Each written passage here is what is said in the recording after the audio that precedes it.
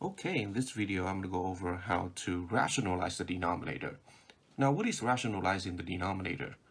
Rationalizing the denominator is the process of getting rid of all the roots in the denominator such that your denominator ends up being either just a number, an expression, or a function that is raised to the exponential power of positive 1. Okay?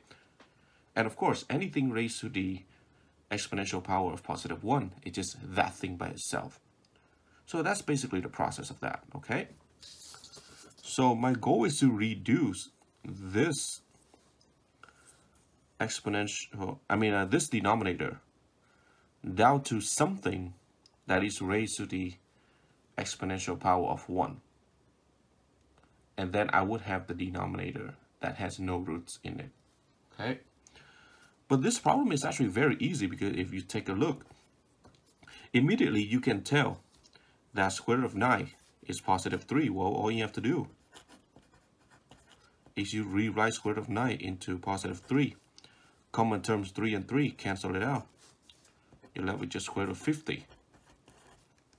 Well, we know that 50 is not a perfect square root number, meaning that there is no smaller integer that multiply itself twice to give you back 50. Well, let's see. All of the multiplicative factors of 50 are 1 and 50, 2 and 25. And yeah, that's what I can think of. Okay, so your answer is square root of 50 over positive 1, but which is square root of 50 itself. So this is the simplified form of the original expression. Square root of 8, unlike square root of 9, is not a perfect square numbers. Although I can go ahead and simplify square root of 8 and then I can start rationalizing the denominator. What I'm going to do in this case, I'm just going to go ahead and start rationalizing the denominator, okay?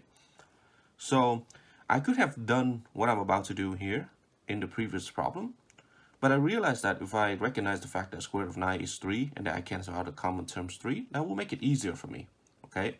But however, you are more than welcome to do what I'm about to do here to the previous problem, okay? So what, what I'm going to do here is that since I recognize the fact that my denominator is only one term, specifically square root of 8 in this case, I'm going to multiply the denominator by itself, and I'm also going to multiply the denominator to the numerator. So the denominator is, the denominator is square root of 8 multiply by itself and then multiply it to the numerator. So what is that going to leave me? So I would have 2 times square root of 64 times square root of 8. And underneath, I'm going to have, well, let's say I have square root of 8 multiplied square root of 8. Well, these two terms have the same square root. That means I get to keep the radicand 8. And I raise it to the 1 half plus 1 half because remember square root is the exponential power of positive 1 half. Okay, so you get two identical radicands, aka the exponential power I mean, uh, not exponential power, exponential base in this case. You keep the base, you add the exponent, 1 half and 1 half, which is square root square root.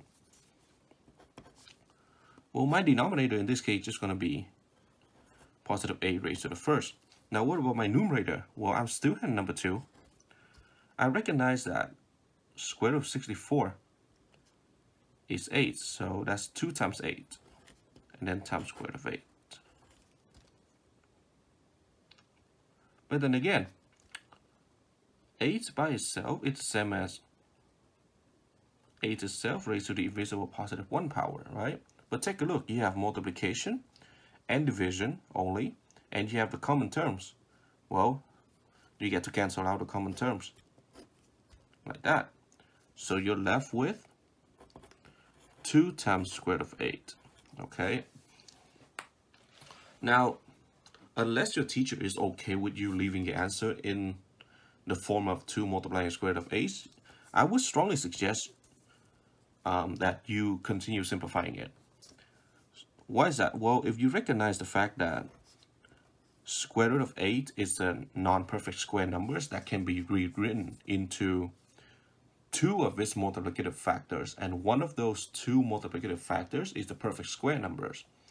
Well, those two multiplicative factors of positive 8 is actually 4 and 2. Okay, because mentally we know that square root of 4 is going to be 2. So rewriting 8 into 4 multiplying 2, I realized that the multiplication of 4 and 2 are underneath one common square root. Well, I get to use the laws of exponent and separate this square root into two distinct ones. So I would have 2 from here to there, multiply square root of 4, and then multiply square root of 2.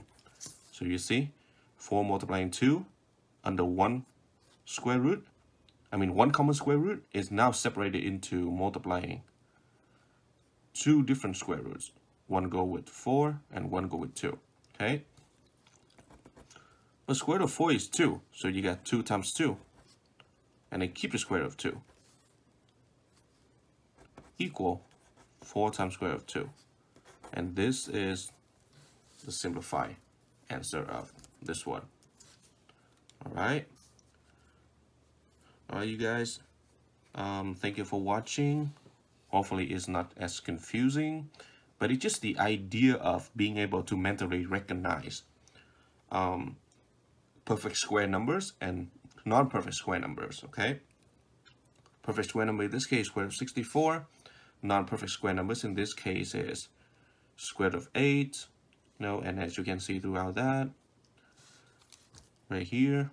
And then it is also good to mentally recognize that a non-perfect square numbers or not non not a non-perfect square numbers, but some of the non-perfect square numbers can be uh, written in the form of the product of two of its multiplicative factors.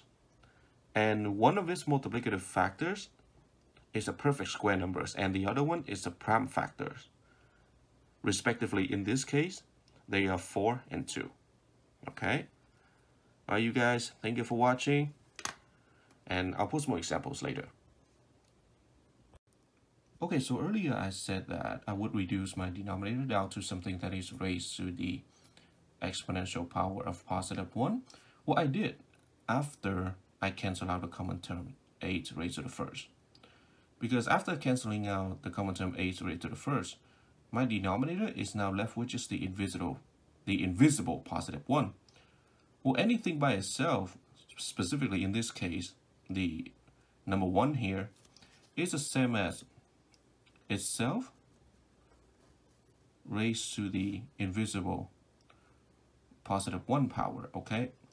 But because anything raised to the first power is that thing itself, in this case, I got 1 raised to the first power, which is 1 itself, and anything divided by 1 it's just that thing itself. So that's why earlier I did not write 2 multiplying square root of 8 divided by 1. I just wrote 2 square root of 8 by itself, okay? But if it is more comfortable for you, go ahead and write 1 raised to the first, okay? And then, of course, um, same thing for the consequence steps, okay? For the following steps.